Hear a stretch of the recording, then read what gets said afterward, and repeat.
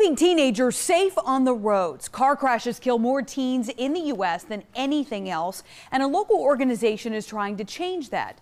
10 News reporter Jessica Jewell gives us a look at the program that stopped by Christiansburg High School today using dramatic visuals in hopes of making a dramatic difference. Christiansburg High School knows the pain of losing a classmate all too well, still mourning the death of 16 year old Ashlyn Poole. She was thrown from the passenger seat of a car and killed last July. Investigators say the driver was going more than double the speed limit.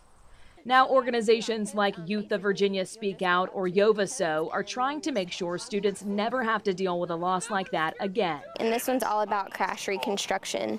They're hoping with a wrecked car and an iPad, they can create change. Students scan QR codes attached to various items. No way that person survived though.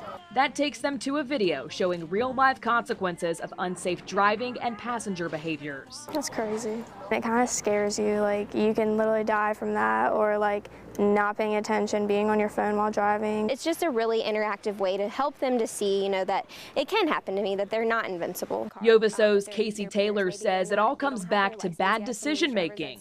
That's why this program teaches students the consequences. It may be that you go to jail. It may be that you have community service. You might get this or that.